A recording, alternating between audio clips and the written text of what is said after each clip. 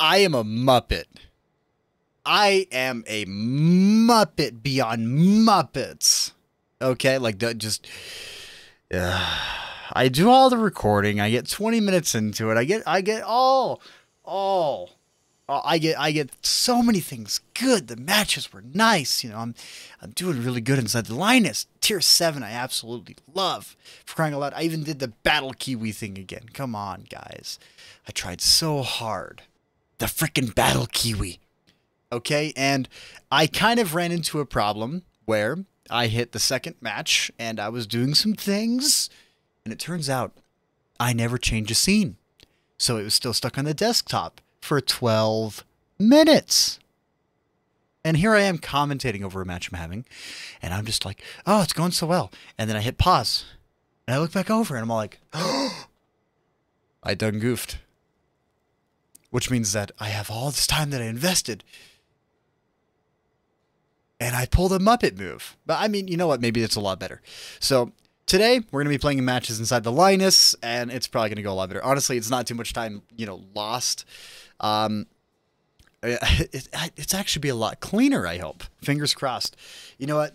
I mean, since we're doing this, let's do it right. Desktop view, guys.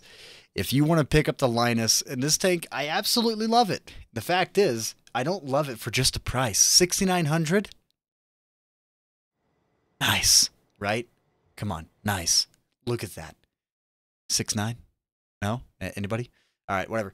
Um, but 194 standard pin on a tier 7 is actually a decent amount of penetration, along with 250 heat penetration. However, these heat rounds, they are slow. I think it's like 660 or 600 on the dot. Uh, 220 alpha, 700 and 200 70 on the high explosive, which honestly, the 50 damage increase from the standard to the high explosive for me is a bit disappointing. But if you're using a three shot autoloader, that does make a decent dif- difference, I guess. I, you know, in the first match we're going to play inside the, on the Lioness, we'll be using the three shot autoloader. Uh, still concealment wise, it's not exactly the most concealed heavy, but it's not the worst. Uh, 391 still concealment. If you guys want to try and boost this, I don't see a point. 370 view range, that is going to play against you. Fifth, um, 35 forward, however, compared to PC, they only get 30. So we're actually a bit faster over here in console.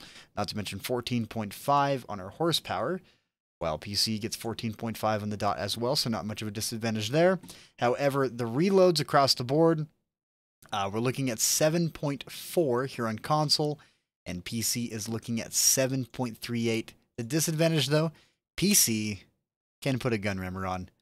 Sadly, we cannot. Thing is, though, is that we have a lot of perks to benefit and actually give us a lot of bonuses, so I don't see too much of a problem there. 66 rounds of ammunition, and with the single shot that we currently have equipped, 0.38 accuracy, 2.5 aim time. With the autoloader, you're looking at 0.4 accuracy and 2.7 aim time um, respectively. And shells, yeah, 995 meters a second on your standard rounds, 600 across the board for your high explosives and your heat rounds, making the high explosives on this just a bit more disappointing because they're super slow.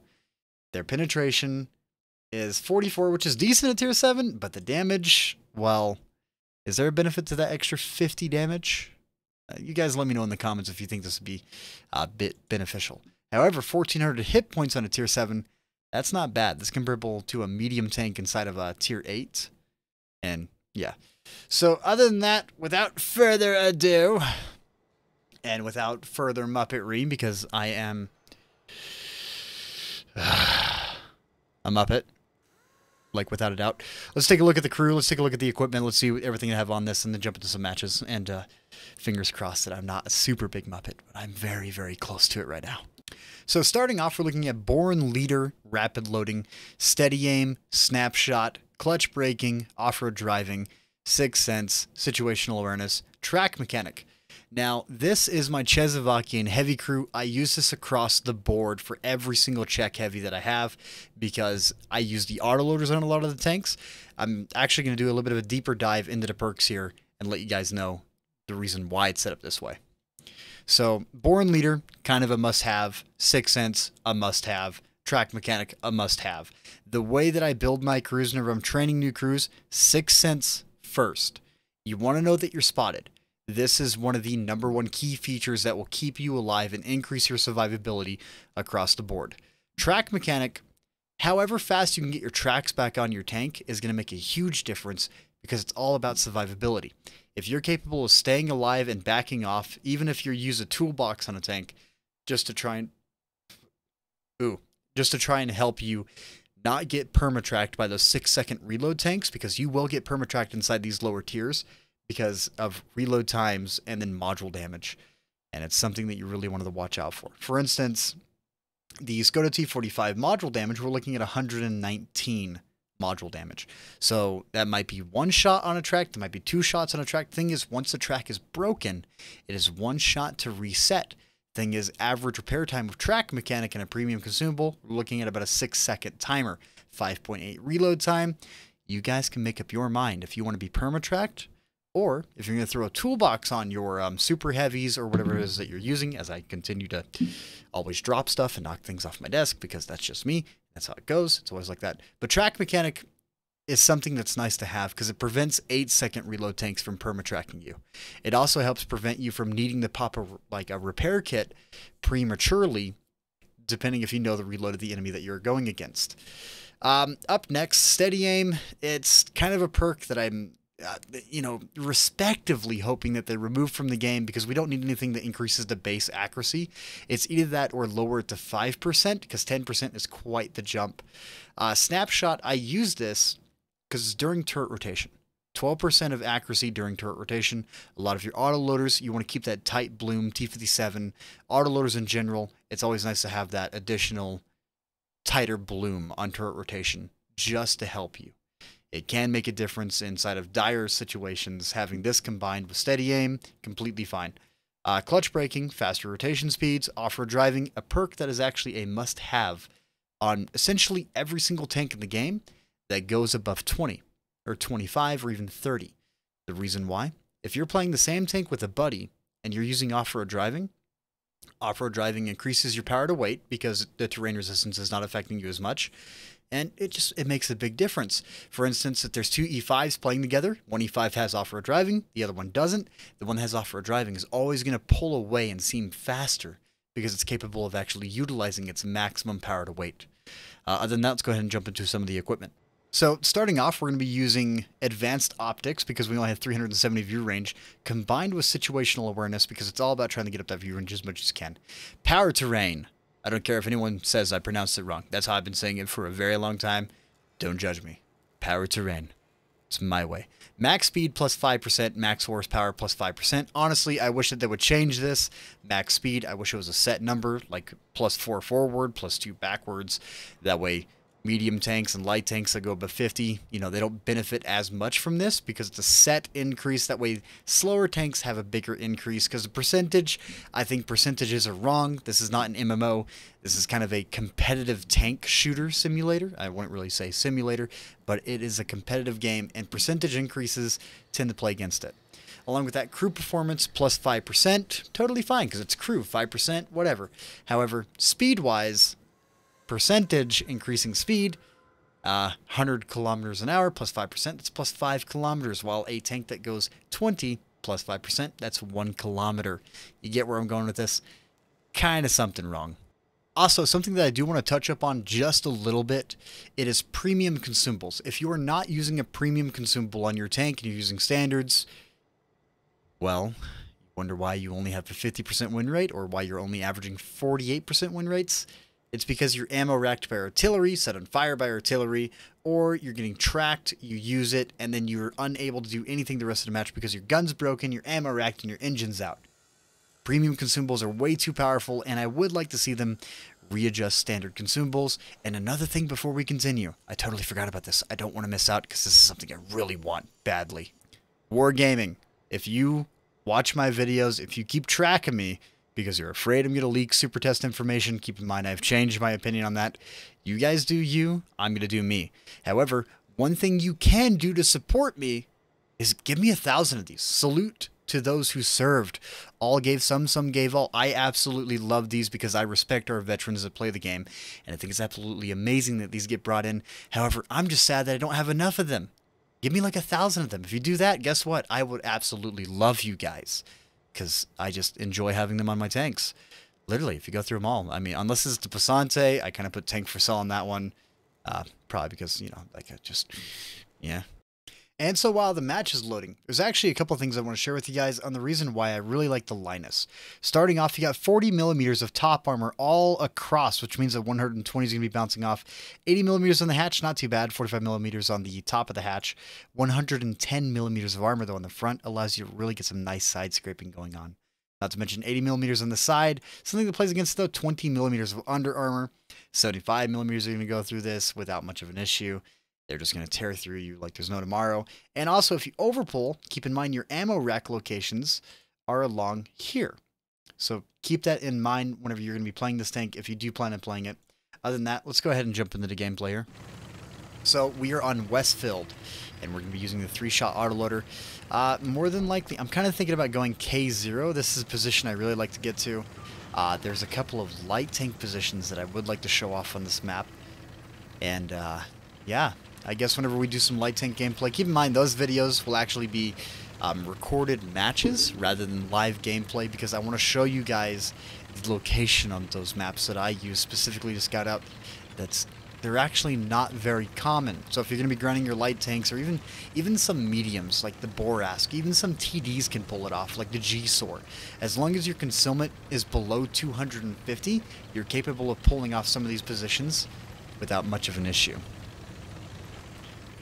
Here we go, a little bit of engagement here. We're going to be backing up, slowing down.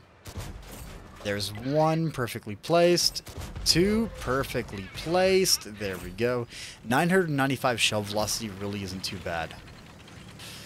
And then the hull armor on this, even though it's 110 millimeters, it's not exactly the thickest, but the way that it's designed with the flat plate in the front, it's not a pike nose. Pike noses at this tier would be really devastating, but the way that it is put together, I don't have much of a problem with it. Not to mention the aim time on this. Actually, I don't feel bad pulling right here, just because of the 40 millimeters of uh, top armor. I actually feel a bit comfortable pulling right here until artillery comes at me and I pop a repair kit a half second too early. And track kind of kicking in now. So the 40 millimeters of armor up top did allow me to kind of play a lot different right there compared to what you would normally see tanks play just because every single caliber over there, none of them is going to be able to overmatch a top or capable of getting the auto ricochet up top and just showing off something you don't see normally. One into his top plate, foul play on my end. We're going to go for the tracks if he gives us them. Ammo rack, that's just as nice. However, we are on a massive reload right now. Oh, also, the turret armor on this at 160, the way that it's designed though, with your um, angles that you have on it, it does play to this tank's advantages heavily. 220 alpha, not bad. Artillery is just barraging the crap out of me. Thank you. I love you, artillery. We all love you. Especially since your reload rates have been increased by a crap ton. Risking a little bit of hit points to get right here, but so far up to 2,000 blocked. Not bad. Hopefully the ram pulls around that right side and gets some scouting. Thank you. Premature fire on my end.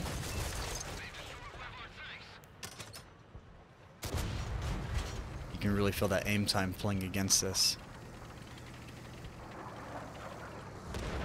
Doesn't make it a bad tank though. Just means that you need to slow down a little bit. And that's why you snapshot in these tanks to help give them that little bit that they need. Maxed out gun depression right there. There was no more shots they're going to be able to land. And that Tiger is shooting APCR, so we're going to back off. I don't want to get hit by 247 premium pin. You know what?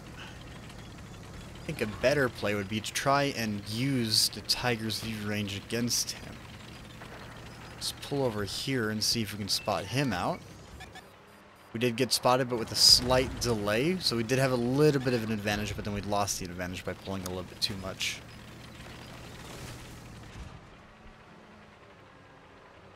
We are in a heavy, though, so concealment is not exactly what you're looking for inside heavies.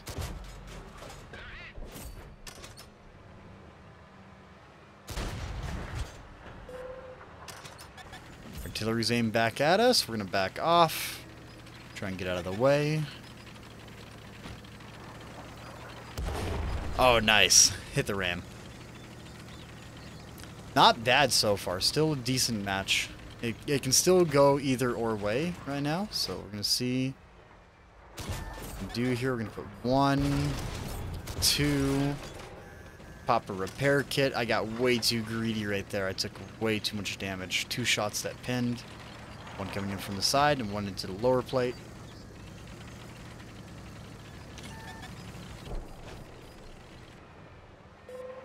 Take a little bit slow. We're probably going to get dropped by artillery here in about two seconds.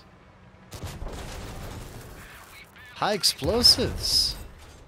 That's fun. Aim time and accuracy playing against us right there. And more than likely the M44 is going to be reloading in 41. Yep, there it is. Extremely redonkulous reload times on low tier artilleries. Guess that's one reason why I don't see a lot of people enjoying the low tiers. Five seconds to completely clip out right here. And high artillery. I am lucky to be alive right now. The 250 heat pen that this offers, though, does make a big, big difference in how it plays. Just because you have the penetration needed to go through most tier 8s in the game. But the shell velocity does play against it just a little bit, but that's completely fine. We're going to one. We're going to hit a spaced armor. We're going to get taken down from the left. Do I start my reload? Nah, we're, we're going to take it. We're going to see what we do. What we have. Ammo rack. I doubt we're going to be able to get another ammo rack on him. And there is no way I'm going to be able to survive for 10 seconds against this Tiger 1. Yeah, there's no way. I mean, honestly, not a bad match. 3,086 damage dealt, 1,606 assisted, 1,995 blocked. Got to show off a couple of the characteristics of the tank. I enjoy that. That turned out really well. I mean, still though, 6,900 gold for this tank? Come on. Nice. Not to mention the decent profit that we made off the match of 71,586 silver.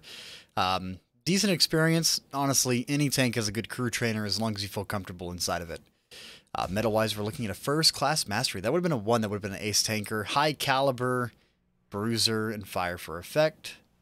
And then scoreboard for anyone who cares to see that. Honestly, it's lower tiers. There's no real point to jump in here and, you know, say anything about it because it is what it is. It's how it goes. And up next is the single shot. It's the freaking Battle Kiwi, guys. Come on. All right, so steps. This is not a bad lineup. Um, probably going to be taking left. Left seems like it would be the, the value play because right side, we're going to get caught out. We don't have enough speed. Left side, we at least have a lot of haul down areas.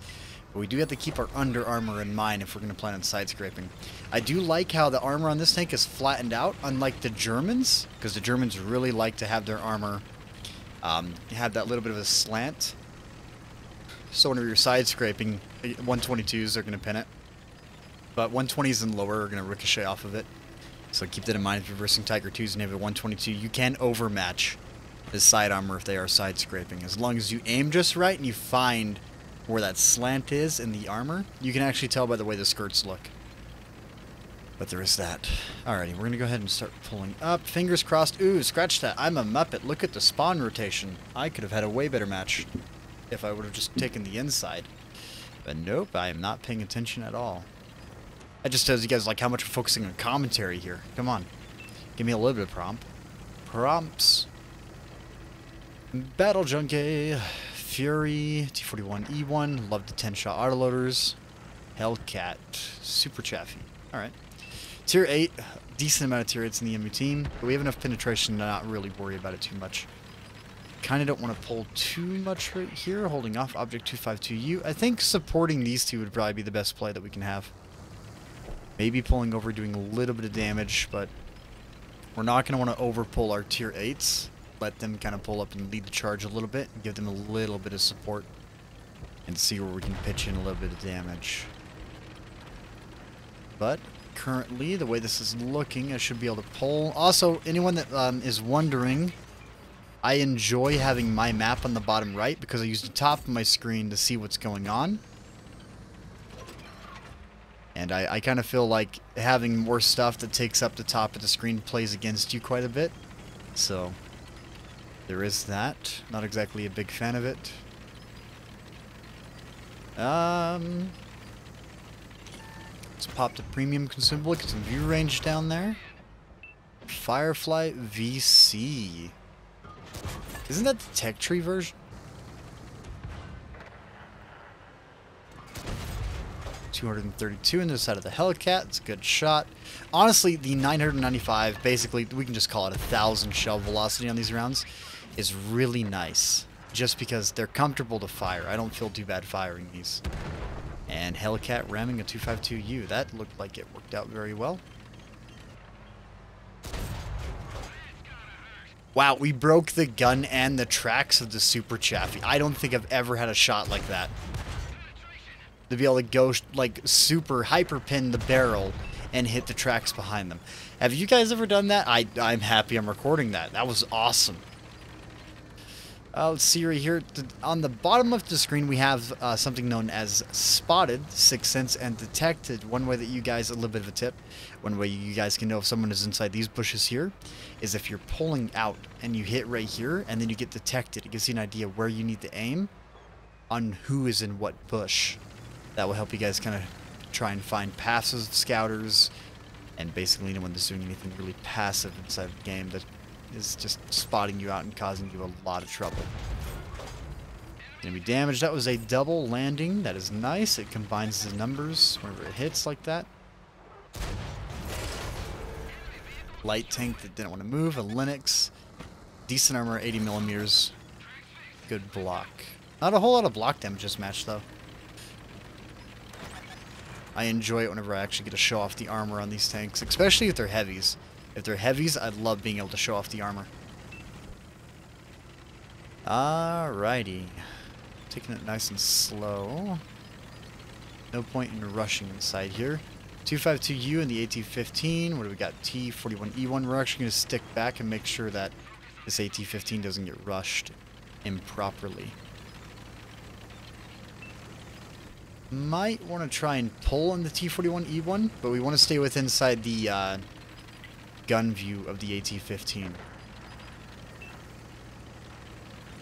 Taking a hard left, maybe going up the hill a little bit. Premium consumable, let's get that enhanced view range.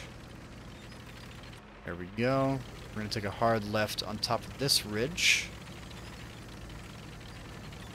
This will be the good ridge to go up to.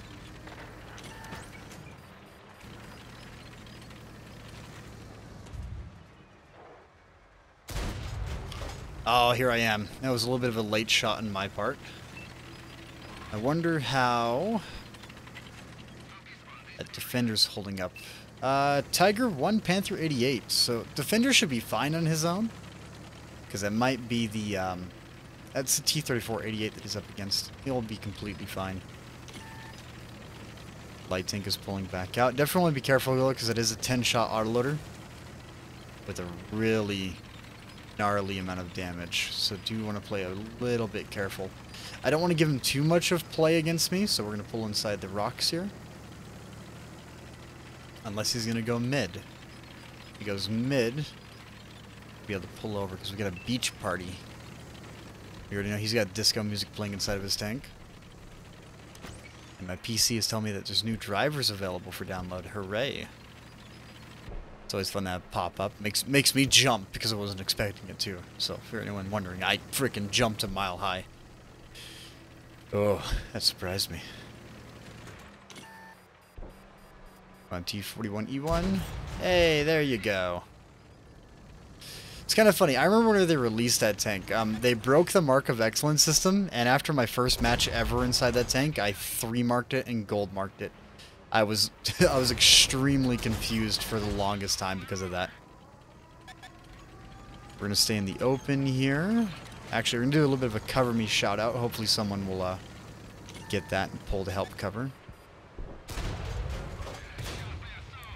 Not playing super well against the T-34-88. If he was in the 85, he'd be a lot scarier, but the 88 is not as scary as the 85. Just because that uh, 85's got way better pin. Alright, we're probably going to pull on nothing. We're just going to get absolutely pounded by uh, premium rounds from T-3488. Engine is out. We're going to try and maintain a decent angle. All right, not bad. Um, armor did not work out too well. Then again, I did kind of pull up in the rocks against uh, two mediums that have got mobility on me. So foul play on my end. Other than that, two kills, 2,554 damage. Did, uh, did I rely on premium that much? I don't think I shot any premium. Not bad. Uh, second class mastery. Not bad. Sniper, bruiser, confederate. I think we'll do one more match inside this, maybe with the uh, three-shot autoloader. So another reason why I'm choosing a tier 7 today is because tier 7 matchmaking as of right now is some of the best matchmaking that you can get. You're not going to end up against tier 10s. Um, not just that, tier 9s are actually not as popular as tier 10s and tier 8s. So majority of the time, some of the worst matchmaking that you're going to see and we're talking maybe 80% of the time the worst matchmaking that you will experience is against tier 8s. But even then, most tier 7s have got enough penetration to handle tier 8s in front row combat if you play them correctly. Um, tier 9 is just, it surprises me that tier 9 is not as popular in console as it is in PC. A lot of people in PC actually prefer to main tier 9 just because you're capable of going up against tier 7s, they go against tier 8. It's kind of that perfect middle ground of like matchmaking against 10s and everything else, but tier 7 on console right now kind of seems like the sweet spot. So, if you guys are struggling with your matches and you're trying to grind silver, you know what? Maybe a tier to try out would be tier 8. That's my recommendation. And uh, just get in, give it a go, see if you guys enjoy it. And seriously, Wargaming, I want more of this freaking um, inscriptions. You have no idea how badly I want them. They would make me so happy.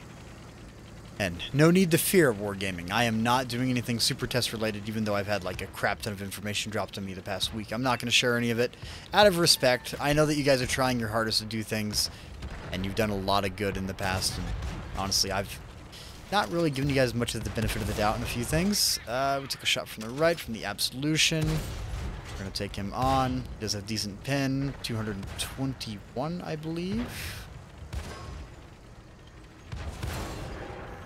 He's just going to tear through our top armor because he's loading nothing but premium. But five seconds is all I need to ruin your day.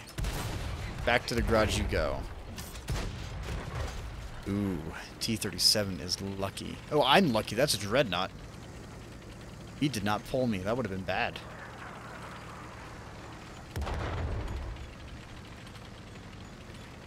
Uh, uh, uh. I put quite a few matches inside this tank today. I'm enjoying it. I actually really like this tank.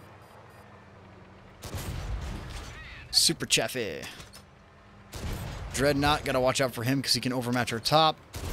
Uh-oh. Uh-oh. Ah, that's a heat round. Wow, why do they always shoot heat? Oh, the pain.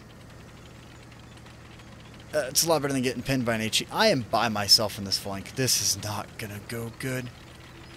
Oh, no, it's not. He's to pull and put another heat round straight through us, and our effective armor is only like 248 against a uh, 250 heat pin. So I guess that is what it is. Uh, I see lower matchmaking. Uh, they don't like this flank, apparently. That's nice to know.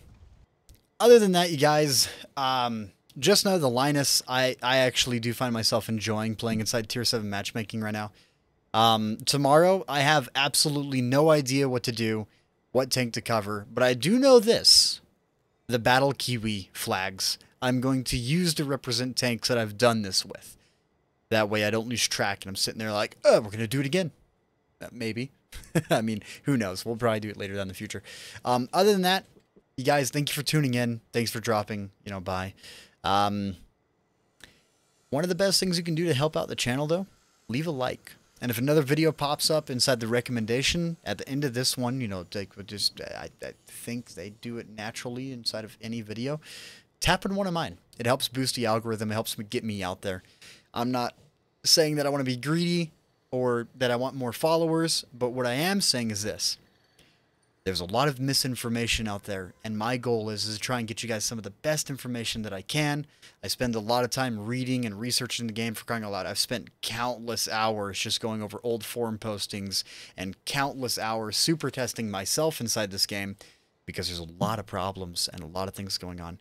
The best thing that we can do is kind of come together and have a little bit of a collective thing to where If you guys have a question you need answered, if there's something that you're looking for, a recommendation, or even if you're just someone who just wants to have a few matches and chit chat for a minute because you're having a bad day.